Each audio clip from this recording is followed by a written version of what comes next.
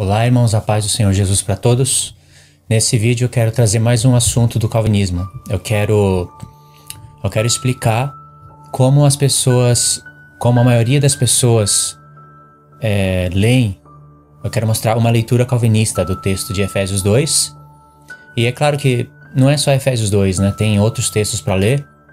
Eu vou me centralizar nesse vídeo em Efésios 2, mas você pode encontrar aí no meu canal eu já fiz vídeo explicando Romanos 9, do Romanos 9 até Romanos 11. Ficou um vídeo meio estendido, mas foi daquela maneira que eu consegui fazer. E mesmo os, muitos calvinistas assistiram esses vídeos, mas eles não conseguem responder as perguntas. Eles ficam só mandando os mesmos textos, sabe? Os mesmos textos recortados e isolados dos seus devidos contextos. Eu vou mostrar como eles fazem isso aqui em Efésios 2.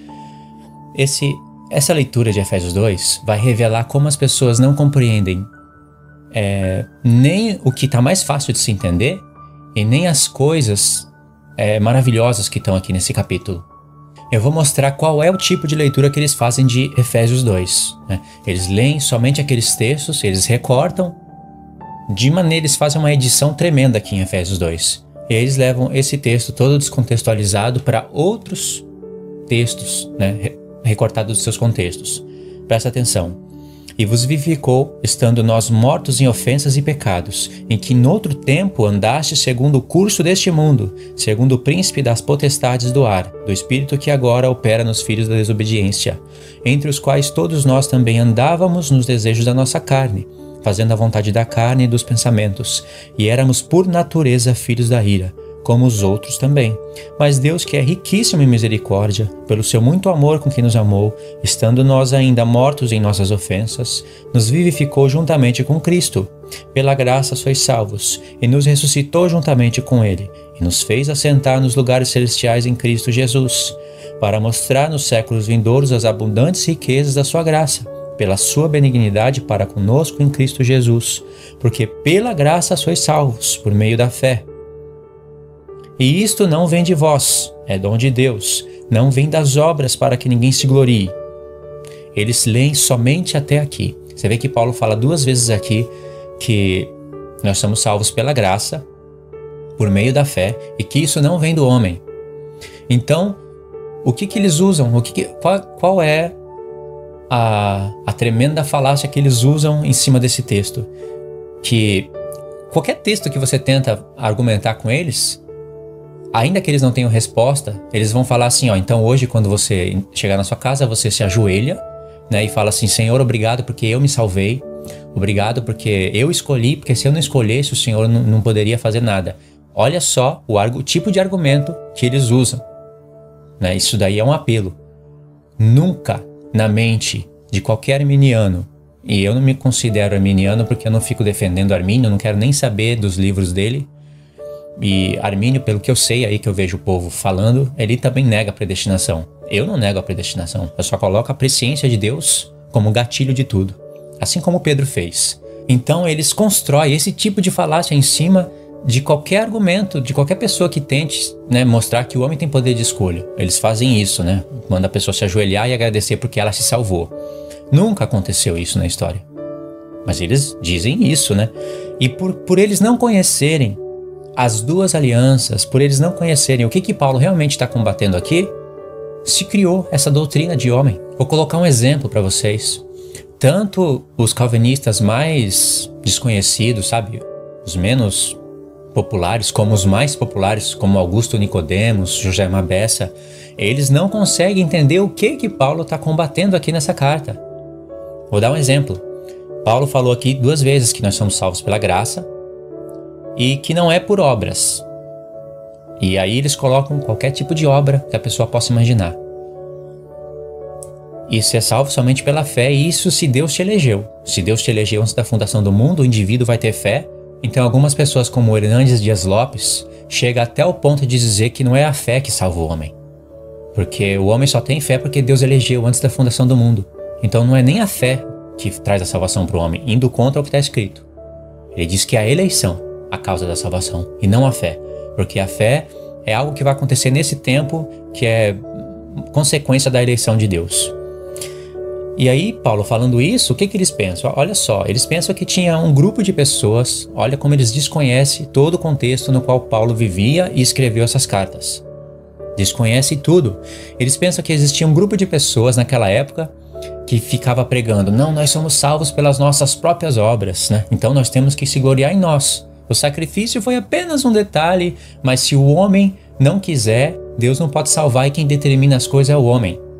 Aí Paulo vendo isso, Paulo falou: Não, vocês não sabem que a fé é de Deus e que nós não somos salvos pelas obras? Para que ninguém se glorie? Então, tudo vem de Deus. Aí Paulo escreveu falando da eleição, né? Aí Paulo supostamente estava combatendo essa, essa classe de pessoa. Olha o, o nível de pensamento dessas até de reverendos. Como que pode uma pessoa ensinar a palavra de Deus e desconhecer tanto o contexto dela? Nunca existiu um grupo de pessoas é, pregando tais coisas que o homem é salvo por ele mesmo, né, que o homem se, tem que se gloriar nele mesmo e é salvo pelas obras dele. Nunca aconteceu isso na, na história e nem na época de Paulo para que Paulo fosse combater isso. Então, o que que Paulo está combatendo? Se você ler aqui, você vai ver que Paulo está falando de más obras, de obras que não salvam e de obras que foram preparadas de antemão para que a gente andasse nelas, para que nós andássemos nelas. E essas obras trazem salvação. Aí você vai dizer, não, acabou de ler aí que não é salvo por meio das obras? Como vai dizer que essas obras trazem a salvação? Espera um pouco que você vai ver. E o homem jamais vai poder se gloriar nele. Paulo escreveu para os Coríntios e disse: Se alguém se gloriar, glorie-se no Senhor. Tirou isso de Isaías, que o Espírito Santo fala: Se alguém se gloriar, glorie-se nisto, em me conhecer, diz o Senhor. O homem pode se gloriar em Deus. E sabe por que as pessoas não entendem? Aqui você leu alguma palavra assim, festa, circuncisão, né? Circuncisão até tem, mas você leu alguma palavra aqui, festa, Páscoa, primícias, não leu, não é? Mas Paulo está falando disso aqui. Paulo, ele tem a mente iluminada. Paulo, ele olhava para Cristo através das festas de Deus. Nenhum dos apóstolos enxergava Cristo fora das festas. Eles enxergavam Cristo através das festas, e quem enxerga Cristo através das festas, enxerga o profundo de suas obras. Por isso que Deus fala lá em no livro da lei ele fala: Essas são as minhas solenidades. Solenidade é coisa sublime, é coisa incrível. As festas revelam o verdadeiro Messias e as verdadeiras obras que o Messias faria para eliminar o pecado. Por eles desconhecerem as festas, ou seja, a lei de Deus, eles não conseguem compreender a linguagem de Paulo. Olha o contexto. Verso 11 que eles não, eles não fazem questão de fazer o, o, a junção, não interessa para eles o que vai falar aqui a partir do 11. Interessa o que Paulo falou do 5 até o 9. O resto não interessa. O que interessa é do 5, de Efésios capítulo 2, do 5 até o 9, com Efésios 1, do verso 1 até o 4, e aí leva para Romanos, de Romanos leva para Tito, e aí isso é que interessa para eles. Isso que eu vou ler não interessa, ó. Portanto, ligação de contexto. Essa palavrinha aqui, portanto, não permite ninguém interpretar os versos anteriores de maneira isolada com os óculos de Calvino, com os óculos de Augusto Nicodemos, com os óculos de Hernandes Dias Lopes, com os óculos de John Piper. Não permite, ó. Portanto, lembrai-vos, Paulo quer que a igreja se lembre, né, de que vós no outro tempo erais gentios na carne e chamados incircuncisão, pelos que na carne se chamam circuncisão feita pelas mãos dos homens, que naquele tempo estáveis sem Cristo, separados da cidadania de Israel e estranho aos concertos da promessa, às alianças da promessa, não tendo esperança e sem Deus no mundo. Agora eu pergunto para você, o que, que tem a ver assunto da circuncisão, alianças, no plural, da promessa, com o que Paulo falou antes? Quando você vai ver, quando você vai ler isso na, na, nas Bíblias, do verso 10 para o verso 11, na maioria das Bíblias, vai ter a epígrafe separando esses dois versos, que não tinha nem versos e nem epígrafe quando Paulo escreveu. Epígrafe são aquelas letras né, de, de resumo do assunto. E aí dá a entender que Paulo mudou de assunto no verso 11 e ele não mudou a palavra portanto. E assim, essas palavras, portanto, e assim, então, essas palavras, elas não somente fazem ligação, ligações de contextos, mas elas também vão trazendo pequenas conclusões dos assuntos passados. Que nem no verso 11 diz, portanto, ou seja, Já que eu disse né, que vocês não são salvos por obras, para que ninguém se glorie, mas pela graça do Senhor. Você tem que entender também o que é graça na mente de Paulo. Aguenta aí um pouquinho mais que você vai ver se não vai, essas coisas não vão fazer sentido. Portanto, já que eu falei isso, então lembre-se. Paulo quer que eles se lembrem do quê? Que eles eram chamados de incircuncisão. Pelos que na carne se chamam circuncidados. Ou seja, os judeus. E se, quando Paulo usa a palavra circuncisão, aí já está a primeira aliança. Porque toda a primeira aliança, ela tem a, a entrada na circuncisão. Nenhum incircunciso poderia participar da Páscoa, das festas de Deus. E no tempo em que Paulo escreveu Efésios, estava acontecendo, ocorrendo a transição das alianças. A nova aliança tem que chegar na mente do, do, do, dos povos, até na mente dos judeus que tinham lá a lei. E para isso tem que haver um tempo de transição. Não é de uma hora para outra. E quando você olha para Gálatas, para Romanos, né, para Coríntios, você vê uma presença judaica forte nessas igrejas, Gálatas principalmente. Sabia que tudo que Paulo fala aqui em Efésios tem a ver com Gálatas? Tem a ver com Romanos? Quando, olha, palavras que eles não ligam. Alianças da promessa. Por que está no plural? Quantas alianças existem? Duas. A primeira e a eterna. Circuncisão. Quando Paulo fala circuncisão, aí está a palavra festa. Por isso, eles não conseguem conectar nada com circuncisão, com festa. Para eles não importa nada disso. O que importa é ler só até o verso 9 e acabou. Mas Paulo, ele está combatendo aqui pessoas que estavam pregando justificação por obras da lei. E aí faz sentido. E embora não apareça a expressão aqui obras da lei, né? É, não por obras para que ninguém se glorie, Paulo poderia ter falado não por obras da lei, para que ninguém se glorie. Ele fala isso em, outro, em outras cartas. Mas embora não apareça essa expressão, aqui no contexto Paulo vai estar falando muito mais de obras da lei do que se aparecesse somente a expressão obras da lei e ele não falasse as coisas que falou no verso 11, no 12, no 13. Circuncisão. O que é circuncisão? Não é só cortar a pele do prepúcio, é festas. E naquele tempo que Paulo escreveu, havia templo havia ainda sacerdotes que ministravam, você vê isso em Hebreus, ministravam as coisas, né? Aqueles dons que eram figuras. Havia sinagoga judaica espalhada por toda a Ásia e Moisés era pregado. No entanto, que Paulo ia nessas sinagogas pregar Cristo. Havia briga de judeus que não estavam crendo em Jesus e havia ainda pessoas que estavam sofrendo o tempo de transição. Vou dar um exemplo para você. Eu nasci judeu desde pequeno, né, faço as coisas que Deus me ordenou na lei. Só que veio Cristo, né, veio a pregação, eu criei na pregação, tive fé, e aí eu comecei a olhar para as festas, olhar para o tabernáculo, olhar para tudo aquilo e comecei a enxergar Cristo. Já não faz mais sentido, então, eu ficar recebendo propiciação de pecados todos os anos por um sumo sacerdote terrestre ser considerado por mãos de homens. Só que eu tenho filhos. Ó, existia milhares de famílias, de, de famílias. Até gentios estavam circuncidados. Se você olha para Gálatas com cuidado, você vai ver isso. E não precisa olhar com tanto cuidado para é uma coisa difícil de se enxergar. Não, tá lá. Agora, se eu entendo e os meus filhos não entendem, se eles veem eu parando de ir fazer as festas, né, de ir no templo, eles iam achar que eu sou um apóstata da lei. E de fato achavam isso de Paulo. E quase Paulo morreu apedrejado por isso, porque a lei ordenava isso. Então, Paulo, se você for olhar mesmo, ele está combatendo justificação por obras da lei. Você vê essas palavrinhas que aparecem em Efésios 2? Circuncisão, aí é a primeira aliança. Vocês eram estranhos às alianças da promessa, aí já apareceu as duas. Então você vê aí realmente uma transição de alianças. E Paulo está falando de obras da lei aqui.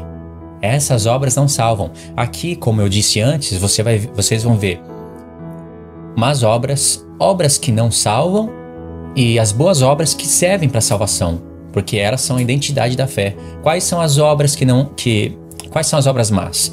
Ele fala assim: quando nós estávamos mortos em ofensas, isso é pecado. E o pecado é a transgressão da lei. Paulo aprendeu da lei que através do pecado, que é a transgressão da lei, entra a morte. Ele tirou isso lá de Adão. Às vezes eu tenho até dúvida se as pessoas sabem mesmo que o pecado é a transgressão da lei e que através do pecado entra a morte. Eu tenho até dúvida nisso. Mas sempre eu estou repetindo isso. Então, quando nós estávamos mortos, ou seja, eles eram pecadores e através da morte, e, e a morte só pode entrar pelo pecado, que é a transgressão da lei. Aí fala que eles, aí Paulo fala que eles receberam vida juntamente com Cristo. Então aqui essas são as más obras. Quais são as más obras? Pecado. Como que você peca? Transgredindo a lei. De que maneira? Através das más obras. Essas são as más obras. Aí ele vai falar de obras que não salvam. É as da lei. Por isso que ele fala, lembra? Lembra que vocês eram chamados incircuncisos. Quem, quem é que chamava eles de incircuncisos? Os judeus. Porque eles não iam para as festas, eles não levavam sacrifícios, eles não, eles não davam os, os dízimos né, nas temporadas das festas, na temporada da, do, dos asmos, das primícias e nos tabernáculos tem entrega de dízimo três vezes ao, ao, ao ano. Eles não participavam disso. E Paulo mesmo fala: vocês eram estranhos às alianças, nem na primeira vocês estavam. Sem Deus, sem esperança. Mas aí Paulo fala: vocês foram transportados para já para a nova aliança. Você vê que o caso dos Efésios, eles foram transportados para a nova aliança. E eles não conheciam muito bem a primeira, tinha que estudar. É aí que entrava os judaizantes para tentar arrastar eles para o Sinai, como estava acontecendo com os Gálatas. Agora, os judeus, eles passaram pela primeira aliança. Muitos creram, mas a maioria eles não creram. E se você for ver, havia gentios é, nas sinagogas judaicas. Quando você vai ler Atos, os gentios estavam espalhados pela sinagoga judaica. Eles estavam lá dentro ouvindo o quê? A lei de Moisés, e muitos estavam aceitando. Quando Paulo entrava lá e arrebatava a multidão com o evangelho da nova aliança, os judeus ficavam enciumados. Você vê isso em, em Atos dos Apóstolos. Atos dos Apóstolos é um livro perfeito que mostra de maneira tremenda a transição das alianças. Como que é, Jesus morreu na Páscoa, ressuscitou nas primícias, ascendeu aos céus para ir até o tabernáculo como sumo sacerdote, e aí começou a enviar a pregação. Você vê que demora, demorou muitos anos para isso acontecer na, na, mente das pessoas e elas entenderem a, a transição das alianças. E muitas pessoas sofreram o tempo de transição por serem atrasadas no livro da lei. Isso era só vir um vento judaico e aí eles voltavam para o Sinai, como os Gálatas. Então Paulo está falando aqui, ó. Lembra? Lembra que vocês eram chamados de incircuncisos. Aí Paulo ainda dá uma dica, ó, feita eh, de, de, chamados de incircuncisos, é, os quais eram circuncidados por mãos de homens. Ah, existe outro tipo de circuncisão? No livro da lei não era com, por mãos humanas? Era. Mas isso era para mostrar a sublimidade da nova aliança quando Cristo viesse circuncidar os corações dos homens através do seu espírito. Em Romanos 15, verso 8, diz que Cristo foi constituído ministro da circuncisão para confirmar as promessas feitas aos pais. E Cristo não circuncida ninguém com as suas mãos. Então, aí você já vê como a primeira aliança era inferior. Paulo está praticamente dizendo: vocês que eram é, diminuídos, eram acusados disso, olha só, vocês foram passados direto para a nova aliança. Então, Paulo está falando ou não está das duas alianças? Tá? Essas são as obras que não salvam. Agora, as obras que servem para a salvação são as obras depois da cruz. Totalmente diferente obras que foram feitas antes da cruz e obras que são feitas depois da cruz. As obras que são feitas depois da cruz, essas foram preparadas de antemão. Como? Através da lei e dos profetas. A mensagem de que viria o Messias. Essas obras foram preparadas porque quando o Messias vem e morre pelos seus pecados, pelos nossos pecados, você vai ouvir a palavra. Vai crer ou não vai crer, não é? Quando você crê, pela graça. Você crê que Jesus morreu pelos seus pecados? Pela graça, Deus vai enviar o Espírito. E quando Deus envia o Espírito, você vai ter que lutar contra a carne. Olha só quanta coisa tem aqui, é até difícil de explicar em pouco tempo. O Espírito Santo tem a função de escrever a lei de Deus no coração do homem. Isso está em Jeremias 31, 31. É a nova aliança eterna. E quando Paulo leu isso, Paulo viu que Deus ia colocar a lei de Deus na mente do homem. E isso não é de uma hora para outra. Na mente de um homem carnal, o homem tem que entender as coisas. E quando começar a entender, vai ter que lutar contra o pecado. Se você crê que foi o pecado que gerou a morte no Filho de Deus, então Deus vai enviar o Espírito no seu coração que vai te fazer lutar contra aquilo que gerou a morte no Filho de Deus. E aí sim a sua fé vai ser verdadeira. Se você realmente crê que foi o pecado que gerou a morte no Filho de Deus, então você vai lutar contra o pecado. Deus vai te dar essa oportunidade e isso é pela graça. Mas a sua luta contra o pecado vai revelar qual é a sua fé. Porque quando as pessoas não, não entendem isso que eu vou falar, hein? Mas presta atenção. Se você luta contra o pecado, você está guardando os mandamentos. Porque o pecado é a transgressão dos mandamentos e o pecado habita na carne do homem. Por isso que fala das obras da carne e das obras do espírito. E se o pecado habita na carne do homem e a morte entra através do pecado, o corpo do homem se tornou mortal. Então, Deus querendo gerar vida no homem, ele tem que retirar a morte, não tem? Para retirar a morte, ele tem que desfazer o pecado, já que é, a morte entra através do pecado. E como o pecado habita na carne do homem, o Espírito Santo foi enviado aí, no corpo do homem, na mente, para fazer o homem lutar contra o pecado. Você vê a sequência das coisas? O Espírito Santo quer gerar vida. Essa é a lei da vida, do Espírito e da vida. Para isso ele tem que retirar a morte. Mas a morte entra pelo pecado. Então ele vai ter que desfazer o pecado na vida do homem. E o pecado habita na carne. Logo o homem vai ter que lutar contra a carne. E se você luta contra a carne, você está contra o pecado, que é a transgressão da lei. Automaticamente você está guardando os mandamentos. E isso é para ser salvo. Não existe verso na palavra. Me mostra um que fala que aquele que guardar os mandamentos é para galardão. Agora a salvação já foi dada por, por graça. Você já foi salvo, mas agora guardar mandamento é para galardão. Me, me mostra isso daí na palavra. Ninguém pode dizer que não é preciso lutar contra a carne para ser salvo. Alguém pode afirmar isso? Não, não é preciso lutar contra a carne para ser salvo. Da mesma maneira, ninguém pode afirmar que não precisa guardar os mandamentos de Deus para ser salvo, porque lutar contra a carne e guardar os mandamentos de Deus é a mesma coisa. Quer a pessoa entenda isso ou não, é isso. A pessoa pode negar com as palavras isso que eu estou falando por falta de entendimento, mas na prática, ela vai ter que guardar os mandamentos. Será que alguém não vai guardar os mandamentos, vai viver no pecado e vai ser salvo? Ah, não, a pessoa foi salva antes da fundação do mundo e, como consequência, ela guarda os mandamentos. Aonde está escrito isso?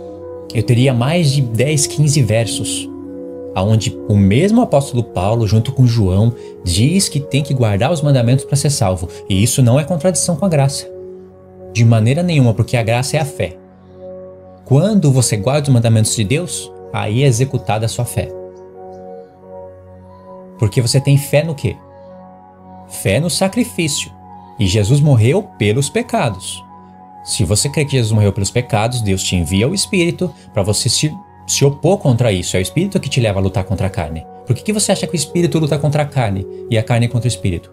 O que, que o Espírito de Deus tem contra a carne? O pecado, que é justa transgressão da lei. O Espírito foi enviado no homem por graça. Por graça. Então, quando o homem guarda os mandamentos de Deus, para ser salvo, ele não vai poder se gloriar nele nunca, porque ele não recebeu o Espírito antes da cruz. Ninguém recebe o Espírito Santo se não passar pela cruz, se não houvesse um sacrifício de Cristo. Por isso mesmo que não entende as festas. Assim como o Pentecoste vem só depois da Páscoa, assim também o derramamento do Espírito vem só depois que a pessoa crê em Jesus. E a palavra mostra em muitos textos. Eu tenho um monte de vídeo aí falando disso daí. E os calvinistas assistem o vídeo, não respondem a, a, a questão que eu deixo, não falam que você, ah, você está interpretando errado, Pedro. Eles não falam isso, mas eles mandam outros textos como se esses outros textos estivessem me contradizendo. Por que, que não ajusta o texto? Por que, que eles não ajustam o texto que eles estão mandando para mim junto com o texto que eu li? Faz a junção disso. Porque tem muitos versos mostrando que homens receberam o Espírito Santo e o Espírito Santo só se recebe por fé. E a fé não é do homem, é de Deus. Receberam, creram, participaram dos poderes do mundo vindouro e caíram. O escritor de Hebreus disse que é impossível fazer com que essa pessoa se arrependa. Uma pessoa que recebeu da boa palavra, recebeu do Espírito, foi participante do Espírito, participante dos poderes do mundo vindouro e caiu. Essa pessoa é impossível renovar para o arrependimento. O escritor de Hebreus não está falando que é impossível uma pessoa receber do Espírito, da boa palavra, ser participante dos poderes do mundo vindouro e cair. Ele não está falando isso. Ele está falando que é possível a pessoa cair, mas é impossível fazer ela retornar ao arrependimento. Mas vê que a pessoa recebeu o Espírito Santo por fé. Por fé no quê? No sacrifício. Foi participante do Espírito Santo, da boa palavra, e caiu. É impossível renovar ela. Não é impossível a pessoa receber isso e, e não ser salva. Ele não está falando isso. Se tivesse escrito, olha, é impossível uma pessoa que recebeu do Espírito, da boa palavra, participante dos poderes do mundo vindouro, é impossível essa pessoa não ser salva. Ah, nem, nem faria mais esse vídeo. Nem estaria fazendo vídeo contra calvinismo. Mas não está escrito isso. É possível a pessoa receber tudo isso e cair. Agora pergunto: se isso é possível acontecer e de fato aconteceu, por que, que Deus enviou o Espírito já que Deus sabia que essa pessoa no futuro não ia ser salva? Se ele não quis que a pessoa fosse salva, por que enviou? Tá vendo como tem algo para você pensar? Deus sempre soube. Os eleitos já foram salvos antes da fundação do mundo, não porque Deus determinou as coisas, por causa da sua presciência. Só que os céus e a terra não sabem disso. As coisas têm que acontecer para ficar escritas em livros, para testemunho no dia do juízo. Deus já sabe, Deus não envia o Espírito no homem para saber se ele vai ser salvo ou não. Ele já sabe. Agora, talvez você saiba disso, Colossenses é uma epístola bem parecida com Efésios. Paulo fala quase as mesmas coisas, né, com algumas variações, mais revelação aqui num assunto, menos revelação no outro. Fala uma coisa para os Efésios que não fala para os Colossenses, mas é bem parecida. E olha o que ele fala aqui, ó, no, capítulo 2. Porque quero que saibais quão grande combate tenho por vós e pelos que estão em Laodiceia, e por quantos não me viram meu rosto em carne, para que os seus corações sejam consolados e estejam unidos em amor e enriquecidos da plenitude da inteligência, para, para conhecimento do mistério de Deus, Cristo, em quem em quem estão escondidos todos os tesouros da sabedoria e da ciência. E digo isto, para que ninguém vos engane com palavras persuas, persuasivas. Está escrito assim, persuasivas, né? Aqui porque ainda que esteja ausente no cor, quanto ao corpo, contudo em espírito estou convosco, regozijando-me e vendo a vossa ordem e a firmeza da vossa fé em Cristo.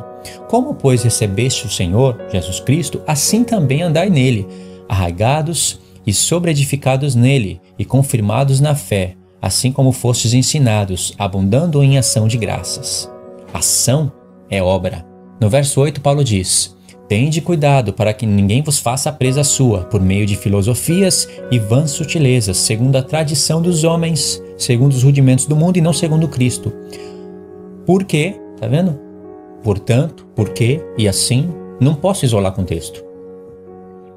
Porque nele habita corporalmente toda a plenitude da divindade, e estáis perfeitos nele, que é a cabeça de todo principado e potestade, no, no qual também estáis circuncida, ó, circuncidados com a circuncisão não feita por mão do despojo do corpo da carne, a circuncisão de Cristo. Sepultados com ele no batismo, nele também ressuscitaste pela fé no poder de Deus, que o ressuscitou dos mortos. E quando vós estáveis mortos nos pecados, tá vendo? Lembrou de Efésios? Parecido, né? Só que aqui ele vai dar um ângulo diferente. E quando vós estáveis mortos nos pecados e na incircuncisão da vossa carne, ó, está morto em, em pecados, né? dá para entender, mas morto pela incircuncisão, vos vivificou juntamente com ele, perdoando-vos todas as ofensas, tá vendo? Vos vivificou juntamente com ele. Lá em Efésios, Paulo fala: Ele nos deu vida, né? Deus nos deu vida juntamente com Cristo. Terceiro dia. Havendo riscado a cédula que era contra nós nas suas ordenanças, a cédula, na verdade no grego está grafe, que é a escritura, a qual de alguma maneira nos era contrária, a atirou do meio de nós, cravando-a na cruz e despojando os principados e potestades, os expôs publicamente e deles triunfou em si mesmo. Aqui as pessoas falam que é demônios, principados e potestades. Paulo, eles lembram de Efésios lá falando de principados e potestades nos lugares celestiais. As pessoas falam que são demônios. Não tem nada a ver com demônios aqui. Paulo está com os fariseus e saduceus na mente, os, govern os governadores do povo. Aí Paulo fala: portanto, Tá vendo? A mesma palavrinha que aparece em Efésios 2, verso 11. Portanto, já que vocês é, são circuncidados não por mãos de homens, né, que Jesus ele, ele anulou aquela escritura que era contra nós, porque a escritura que ele se refere à lei de Deus e as festas ela, elas dão um testemunho contra o povo, elas falam das obras que Jesus ia realizar contra o pecado, mas ao mesmo tempo dão um testemunho da escravidão do povo. Por isso que a primeira aliança né, que contém as festas, está representada em Agar, uma escrava. Aí Paulo fala, já que eu disse tudo isso, né, né, Jesus triunfou dos principados e potestades e os expôs publicamente, não está falando de demônios. O que, que tem a ver demônio com o assunto de circuncisão? Os príncipes e potestades não está falando dos lugares celestiais aqui, está falando do povo. Aí Paulo fala: Portanto, ninguém vos julgue pelo comer, ou pelo beber, ou por causa dos dias de festa, ou de lua nova, ou de sábados, que são sombra das coisas futuras. Porque o corpo é de Cristo. Você vê que Paulo está falando aqui das obras da lei. Aqui não apareceu a expressão obras da lei, mas Paulo está falando de obras da lei, festas, lua nova, essas coisas eram sombras, ou seja, os judeus queriam que os gentios praticassem essas coisas. E os judeus ficavam uma fera, porque eles estavam falando do Deus, do Deus Israel, recebendo o Espírito Santo e não estavam participando das festas.